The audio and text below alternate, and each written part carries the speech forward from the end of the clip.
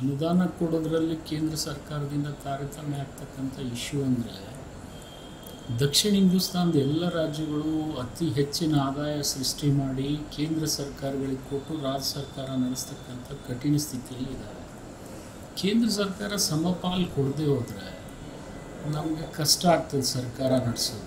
ಮತ್ತು ಇದರಿಂದ ಏನಾಗ್ತದೆ, ದಕ್ಷಿಣ ಹಿಂದೂಸ್ತಾನದ ಎಲ್ಲ ರಾಜ್ಯಗಳು ಕ್ರಿಯಾಶೀಲತೆಯಿಂದ ಕೆಲಸ ಮಾಡಿ, ಆದಾಯ ಸೃಷ್ಟಿ ಮಾಡಿ ಕೇಂದ್ರ ಸರ್ಕಾರಕ್ಕೆ ಸಹಾಯ ಮಾಡಿದ ಮೇಲೆ ಅಲ್ಲಿಂದ ಪುನಃ ನಮಗೆ ಸಹಾಯ ಆಗದೇ ಇದ್ದರೆ ಕಷ್ಟ ಆಗ್ತದೆ ಸರ್ಕಾರ ನಡೆಸೋದು. ಮೊದಲು ಒಂದು ಕಾಲದಲ್ಲಿ ಏನಿತ್ತು ಅಂದರೆ ಎರಡು ಸಾವಿರ ಹದಿಮೂರಕ್ಕಿಂತ ಪೂರ್ವದಲ್ಲಿ ಕೇಂದ್ರ ಸರ್ಕಾರ ಅನೇಕ ಯೋಜನೆಗಳಿಗೆ ನೂರಕ್ಕೆ ಎಂಬತ್ತು ಭಾಗ, ತೊಂಬತ್ತು ಭಾಗ, ನೂರಕ್ಕೆ ಅರವತ್ತು, ಎಂಬತ್ತು ತನಕ ಕೊಡ್ತಿದ್ರು. ಈಗಿದು ಬಿ ಜೆ ಪಿ ಸರ್ಕಾರ ಬಂದಮೇಲೆ ಆ ಪ್ರಮಾಣ ಎಲ್ಲಿಗೆ ತಂದಿಟ್ಟಾರೆ ಅಂದರೆ ಅರುವತ್ತು ಭಾಗ ರಾಜ್ಯ ಸರ್ಕಾರ ಭರಿಸ್ಬೇಕು ನಲ್ವತ್ತು ಸರ್, ನಲ್ವತ್ತು ಭಾಗ ಕೇಂದ್ರ ಸರ್ಕಾರ ಭರಿಸ್ತಕ್ಕಂಥ ಯೋಜನೆಗಳನ್ನಾಗಿ ಮಾರ್ಪಾಡು ಮಾಡಿದ್ದಾರೆ. ಇದರಿಂದ ನಮ್ಮ ಕೇಂದ್ರ ಸರ್ಕಾರದಿಂದ ಹಣ ಬರೋದ್ರ ಜೊತೆಗೆ ನಮ್ಮ ಹಣ ಕೂಡ ಅವರೇ ಯೋಜನೆಗಳ ಮೇಲೆ ನಾವು ವೆಚ್ಚ ಮಾಡ್ತಕ್ಕಂಥ ಸ್ಥಿತಿ ಬಂದಿದ್ದೀವಿ. ಇಂಥ ಅನೇಕ ಉದಾಹರಣೆಗಳಿದ್ದಾವೆ ಇದರಿಂದ ನಮ್ಮ ಪಾಲೇನು ಬರಬೇಕಾಗಿತ್ತು? ಫಿಫ್ಟೀನ್ ಫೈನಾನ್ಸ್ ಕಮಿಷನ್ ಆದೇಶ ಅದು ಕೂಡ ಬರ್ತಾ ಇಲ್ಲ. ಈಗಾಗಲೇ ಅರವತ್ತೆರಡು ಸಾವಿರ ಕೋಟಿ ಕೂತ ಆಗಿರ್ತಕ್ಕಂಥದ್ದು ಮಾನ್ಯ ಮುಖ್ಯಮಂತ್ರಿಗಳು ಅನೇಕ ಬಾರಿ ಪದೇ ಪದೇ ಹೇಳಿದ್ದಾರೆ. ಆದರೂ ಕೂಡ ಅದು ಎಲ್ಲಿದೆ ಎಲ್ಲಿದೆ ಅಂತ ಕೇಳ್ತಾರೆ. ಅವ್ರಿಗೆ ಮನವರಿಕೆ ಮಾಡಿಕೊಂಡು ಇದನ್ನು ಕೊಡದೆ ಹೋದರೆ ರಾಜ್ಯ ಸರ್ಕಾರಕ್ಕೆ ಭಾಳ ಕಷ್ಟ ಆಗ್ತದೆ ನಾಳೆ.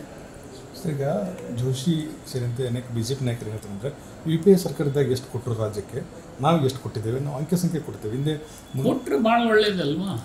ಆದ್ರೆ ಬ ಕಡಿಮೆ ಬಂದಿರೋದಂತರೂ ಖರೆ. ಆದ್ರೆ ನೀವು ಹೆಚ್ಚು ಕೊಟ್ಟಿದ್ರೆ ಕೊಡಿ ಅದ್ರಾಗ ಏನು ತಪ್ಪಿದೆ?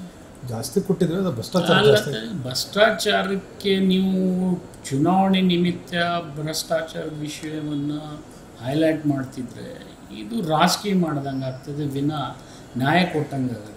ನಾವು ಕೇಳ್ತಾ ಇರೋದು ನ್ಯಾಯಯುತವಾಗಿ ಫಿಫ್ಟೀನ್ ಫೈನಾನ್ಸ್ ಕಮಿಷನ್ದಲ್ಲಿ ಏನು ಕೊಡಬೇಕಾಗಿತ್ತು ಅದು ಕೊಟ್ಟಿಲ್ಲ ಸೇರಿದಂತೆ ಇದಕ್ಕೆ ಅನುದಾನ ಇದು ಪರಿಹಾರ ನೋಡೋದು ಈಗೇನು ಬರೋ ಪರಿಹಾರ ಇಲ್ಲಿವರೆಗಂತೂ ಕೊಟ್ಟಿಲ್ಲ ಇನ್ಮೇಲೇನೂ ಕೊಡ್ತಾರೆ ಅಂತೇಳಿ ಬೊಮ್ಮಾಯಿ ಅವರೇನು ಇವತ್ತೇ ಹೇಳಿಕೆ ಕೊಟ್ಟಿದ್ದಾರೆ ನನಗೆ ಗೊತ್ತಿಲ್ಲ. ಟಿ ವಿನಲ್ಲಿ ಒಂದು ಬರ್ತಾ ಇತ್ತು.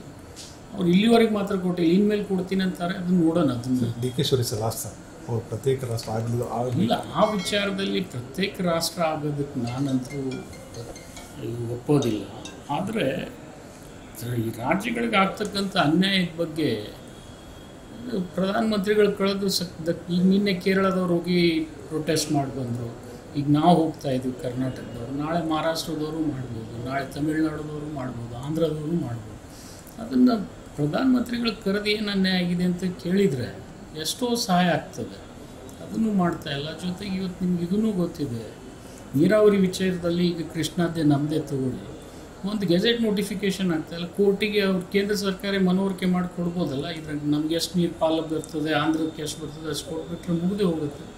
ಮತ್ತು ನದಿ ನೀರು ಸಮುದ್ರಕ್ಕೆ ಹೋಗ್ತಕ್ಕಂಥ ಒಂದು ದುರ್ದೈವದ ಸಂಗತಿ ಕಳೆದ ಹದಿನೈದು, ಇಪ್ಪತ್ತು ವರ್ಷದಿಂದ ನೋಡ್ತಾ ಕುಂತಿದ್ದೀವಿ ಅಂದರೆ ನಮ್ಮಂಥ ದುರ್ದೈವಗಳೇ ಯಾರಿಲ್ಲ